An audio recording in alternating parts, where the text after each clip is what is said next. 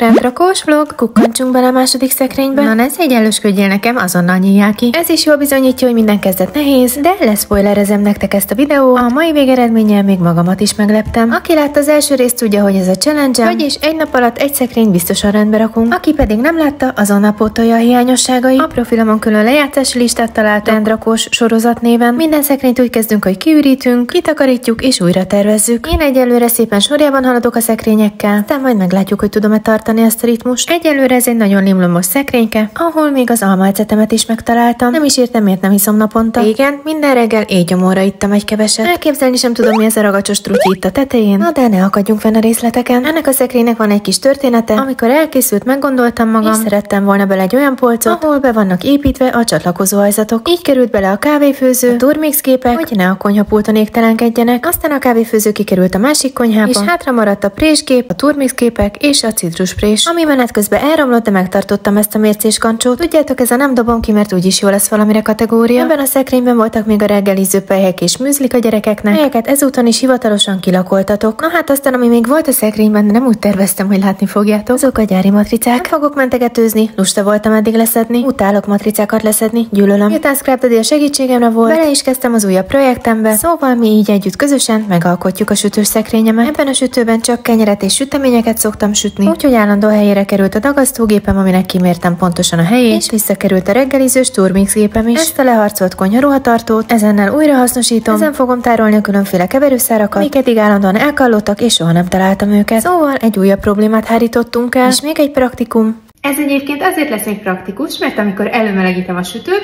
akkor ide be tudom tenni a tésztácskámat, hogy egy kicsit jobban megkeljen a meleg hatására. Hetente minimum négy kenyeret sütök, így a hozzávalók is összetevők is itt kapnak majd helyet, ezzel is megkönnyítve a saját dolgomat. Látjátok, micsoda varázslat születik? Már alig várom, hogy kipróbáljam, és süssek egy újabb kenyeret. Ezen a polcon az étolaj nem fog elférni, ezért ebbe a cuki kis üvegcsébe töltöttem át. Kenyerenként úgyis csak 70 ml-re lesz szüksége. Jöhetnek a mindenféle mérőeszközeim és a kedvenc főzőpoharaim. Kezd olyan lenni az egész, mint egy igazi igazi konyha. Eltöltjük a lisztkészletet is, a félig megüresedett zacskókat egy ruhacsipes segítségével zárom le. Ez a tároló ugyan törött, de még újra tudjuk hasznosítani, úgyhogy keressük is meg a belevalókat. Tudjátok, alapszabály, benyúlunk, és csak azt veszük ki, ami kell, nem rakunk ott is rendet. Sodrófa, nyújtólap és sütőpapír. Az őszgerinc formát viszonylag ritkán használom, ezért a konyharuhák kaptak benne helyet. Sütőkesztyű és pótkeverőtál, mindenféle sütőformák. Már látom előre, hogy újra belekezdek a süti sütögetésekbe. Leharcolt alátétek a forró tepsik alá, és jöhetnek egy másik szekrényben tárolt volt szakácskönyve. Saját receptjeimet egy nem használt határidőnaplóba írogatom, és ezekből is szoktam kicsit inspirálódni. Napi bónuszom, hogy ahonnan elköltöztettem a könyveket, teljesen kiürült és kitakarítottam, és ez lett a végeredményünk.